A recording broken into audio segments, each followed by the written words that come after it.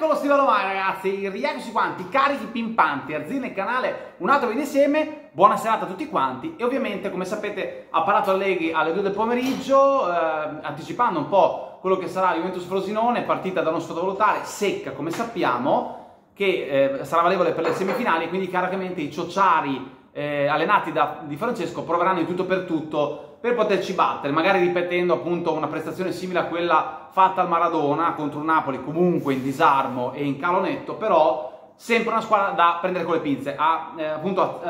attenzionato la difesa, parlando proprio di pigrizia difensiva con diversi errori che ci potevano costare caro. Fondamentalmente abbiamo preso solo pochi punti per strada, nonostante questi svarioni, ricordando che Sandro e Costi sono stati i maggiori indiziati a fare errori. Poi ovviamente è stato quello di Gatti contro la Salernitana, poi Noco in Coppa Italia, però diciamo che la corsia sinistra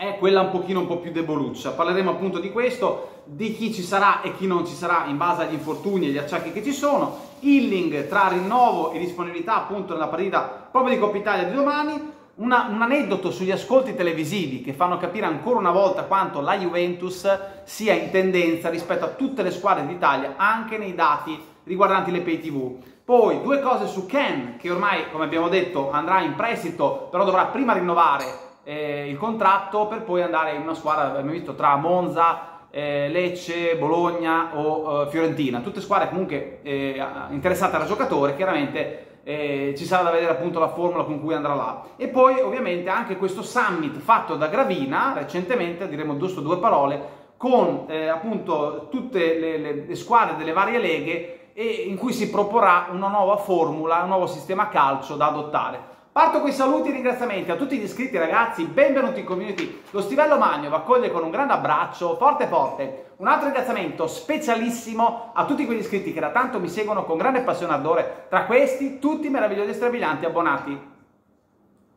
Allora, come stavamo dicendo, quello che si evince dalla conferenza stampa di Allegri, Vlaovic sarà della partita nonostante abbia smaltito da poco una febbre, quindi fortunatamente lo avremo e quindi là davanti c'è il dubbio tra Ildiz Milik o Milik Vlaovic, perché ci potrebbe essere anche questa sorpresa. Di vedere dal primo minuto Ildiz che troverà sempre più spazio ed è una cosa doverosa perché è un giocatore che sta dimostrando veramente il suo grande talento e appunto avendo bisogno di spazio Ken, eh, come detto, eh, libererà questo spazio e poi speriamo non su le come dicevamo stamattina, perché è un giocatore che secondo me può veramente tornare utile anche per cambiare il modulo in un 3-4-3 o un 4-3-3, però anche lì ci vorrà una crescita anche mentale e psicologica dei ragazzi di Mattia Sule, l'argentino. Ecco, l'altra notizia, Chiesa out, lo sapevamo, non ha ancora recuperato, purtroppo dal disturbo al ginocchio ci sarà, come dicevamo, il 16 gennaio contro il Sassuolo in casa, partita molto importante, dovremo rivendicare il 4-2 dell'andata. E poi altra cosa importante da dire,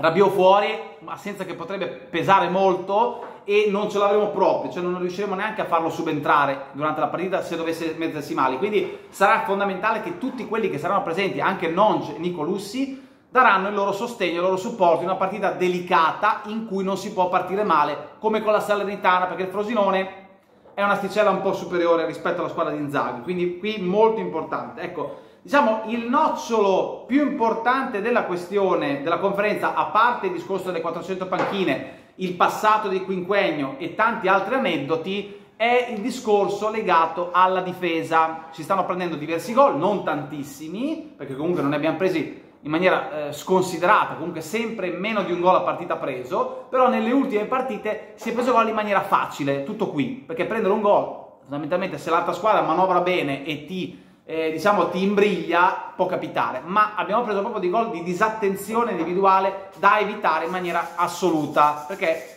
in Serie A bisogna veramente in qualche modo alzare quell'asticella e evitare errori veramente di distrazione e di pigrizia fondamentalmente, no? Nel non rincorrere dei palloni che sembrano persi e poi gli avversari ci credono e ti fregano, no? E ti dribblano. Ecco, altra cosa importante, healing. Healing, nonostante le voci, le varie bufale, eccetera, secondo me rinnoverà il contratto fino al 2028 e difficilmente questo rinnovo sarà propedeutico a una cessione perché Hilling venduto per 15-20 milioni è una follia, giocatore che è destinato a diventare un top nella sua fascia sinistra, Kostic per me non sarà il futuro e verrà presto ceduto e quindi servono dei ricambi. Come ho già detto, Hilling probabilmente avrà le potenzialità di diventare anche un titolare della nazionale di Saudi dell'Inghilterra che andrà in spedizione all'Euro 24 e sarà tra le favorite per la vittoria, quindi è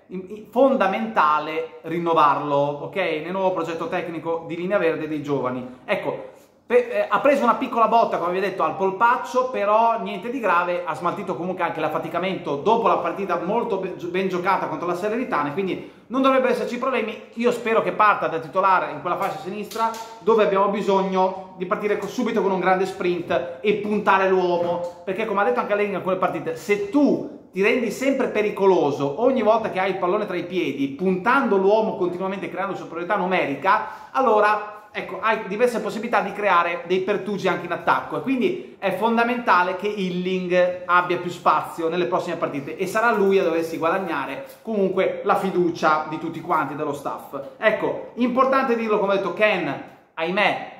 è un giocatore che in questo momento è un peso morto, ricordiamo che noi l'avevamo praticamente preso a 38 milioni, un giocatore che è una riserva autentica, ha fatto pochissimi gol da quando è arrivato e prende 5 milioni minimo di ingaggio. Quindi darlo in prestito per vedere poi in futuro se venderlo potrebbe essere un'ottima cosa. Come ho detto, resta da valutare la formula appunto del trasferimento in prestito e quanto prolungare il contratto a Ken. Quindi Monza e Fiorentina in questo momento sono in vantaggio su tutte le altre che abbiamo citato. Tra l'altro la Fiorentina eh, complimenti che ha passato il turno con l'italiano ai rigori, rischiando molto contro Tiago Motta e Bologna, 5-4, però semifinale aggiudicata, quindi anche loro questa volta punteranno alla finalissima come hanno fatto l'altra volta l'anno scorso perdendo con l'Inter di misura 1-2. Ecco, ascolti TV, importante dirlo perché ancora una volta la dimostrazione che la Juventus crea più appeal e più hype rispetto all'Inter e a tutte le altre è doveroso dirlo. Quindi l'Inter è sotto di circa 100.000 eh, utenti di ascolto, la Juve è intorno a 1.200.000, il Napoli un po' più defilata 927.000, comunque questo, ripeto,